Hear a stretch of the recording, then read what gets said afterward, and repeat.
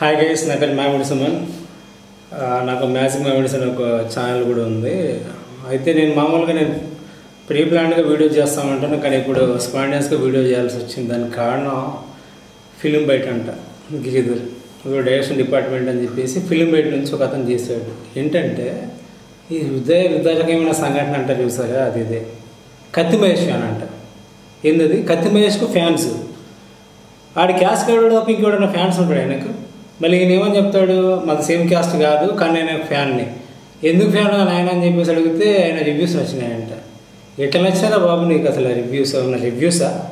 ఆడు బాహుబలి వన్ నచ్చలా. బాహుబలి టూ అని ఎక్కలా ఇంకే సినిమా కూడా నచ్చలా. అతను నేను కూడా నచ్చలేదు. రంగస్థలం యావరేజ్ అంటాడు. వాడికి ఏదో రివ్యూ అది. ఫ్రస్ట్రేషన్ రా అది రివ్యూ కాదురా నాయన.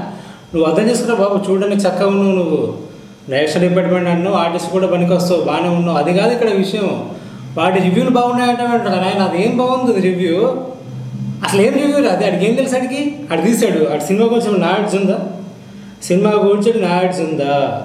ఏం నాడ్స్ ఉందని తీసారు ఆ ప్రెసిడెంట్ ఆ సినిమా అది ఆ ప్రెసిడెంట్ అది తినడానికి ఏమంటారు? అది దానికి ఇచ్చుకోమన్నారు రివ్యూ అన్ని. అంత నాలెడ్జ్ ఉన్నాడు. సినిమా ఎందుకు ఇస్తారా ఆయన క్యాస్ట్ కార్డు కాకుండా సపోర్ట్ చేసే ఫ్యాన్స్ ఎవరు ఉన్నారు? అసలు నువ్వు కరెక్ట్గా నీ క్యాస్ట్ చెప్పు ఫస్ట్ నువ్వు. నీ క్యాస్ట్ ఏందో చెప్పి తర్వాత ఫ్యాన్ గురించి మాట్లాడు. సరే నువ్వు ఎంతో ఏదో బాగావు ఏదో బాగావు నాకేం అర్థం కాలేదు. బట్ ఒకడు ఒక పాయింట్ అర్థమైంది అంతో ఎంతో నచ్చింది. ఏంటంటే ఏమన్నావు?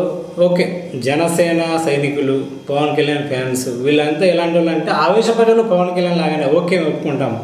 బట్ అదొకటి నచ్చింది ఏంటంటే వీడంతా ఎక్స్టైల్ చేసిన ఆయన చంపాలని కూడా ఎప్పుడు అనిపించే వాళ్ళ పెద్ద విషయం కాదు. బట్ మా అన్నయ్యకి పొలిటికల్గా ఎలాంటి డిస్టర్బెన్స్ రావద్దు అని చెప్పేసి అతను ఏం చేయలేదు. చేయం కూడా. అతని ఏ కూడా వాళ్ళ నియమం ఇంకా ఎవడైనా వచ్చి వాడి మీద చేయాలని చూసినా సరే మేమే లాపుతాం తప్ప వాడిని ఏం చేయం రా. మహా అయితే ట్విట్టర్ బ్లాక్ చేస్తాం. వాడిని ఫేస్బుక్ బ్లాక్ చేస్తాం. వాడిని బయట ఏనే కూడా వేస్తాం. అంతేగాని వాడిపైన వయలేషన్స్ ఫిజికల్ డ్యామేజ్ అడిగి ఎలాంటిది కూడా చెయ్యం. కానీ ఒక విషయం నచ్చింది. ఎందుకంటే పొలిటికల్ కుట్రలో ఆ నీచుడు ఆ ఇరుక్కున్నాడు. పక్కగా చెప్తున్నా. వాడి స్వార్థం కోసం వాడు చూసుకుని ఏమీ బీకలేక ఇండస్ట్రీలో వాడు ఇరుక్కున్నాడు. సో ఆ ఇరుక్కున్న చక్ర వ్యూహంలోనే వాడు నలిగిపోతాడు. కరెక్ట్గా చెప్పావు. ఒక విషయం నీకు హ్యాట్సప్ రా బాబు నిజంగా చెప్తున్నా ఒక్క విషయంలో హ్యాట్సప్ చెప్తున్నా. ఎందుకంటే ఇది వెన్నుపోటు. వెన్నుపోటు ఇండస్ట్రీ ఇక్కడ మామని అల్లుడు బావని బామ్మరిది అన్నని తమ్ముడు ఫ్యామిలీ మెంబర్ చూడకుండా మొత్తం చేసే ఇండస్ట్రీ పొలిటికల్ వ్యవస్థ మనకు ఉంది ఇది. మన తెలుగు స్టేట్లో అలాంటిది ఉంది.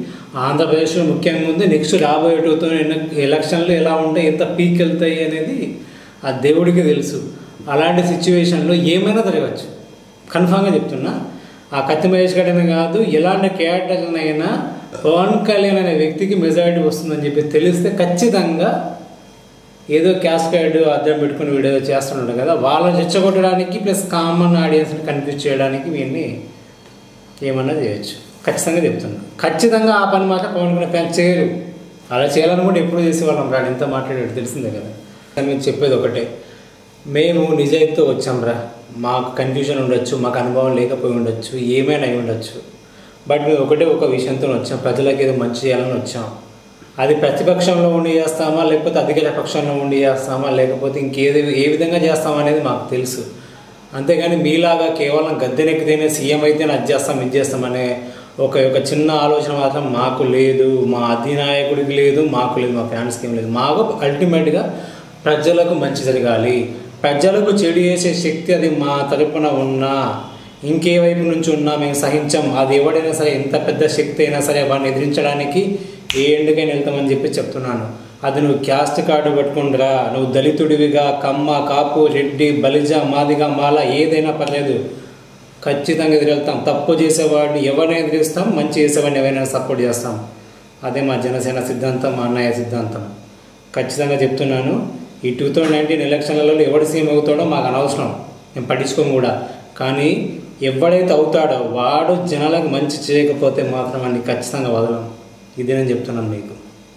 ఇంతకు మించి ఎక్కువ సోది పెట్టి తలుచుకోలేదు జై జనసేన. జై హింద్.